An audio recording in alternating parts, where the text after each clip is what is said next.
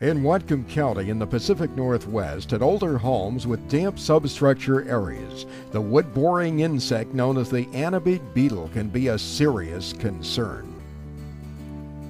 Tiny shot sized holes in lumber are a sign of past or present wood boring beetle activity. Fresh frass or a wood powder or dust at the insect's exit holes may indicate an active infestation. This is usually seen in substructure and crawl space areas. Insect larvae live deep inside wood, and the pest, if ignored, will reinfest for generations until the lumber is completely destroyed.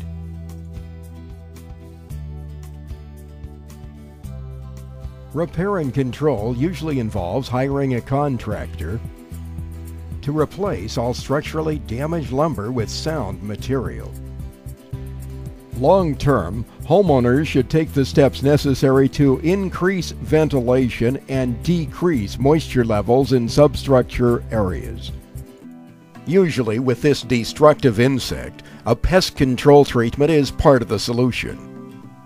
Modern chemicals for the control of wood destroying insects are not as toxic as those used in years gone by. The insect is smaller than a grain of rice, but damage from an anobiid beetle infestation can be widespread and costly to repair.